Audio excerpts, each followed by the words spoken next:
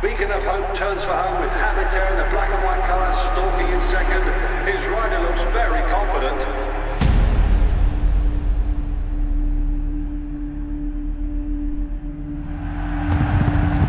Habitat jumps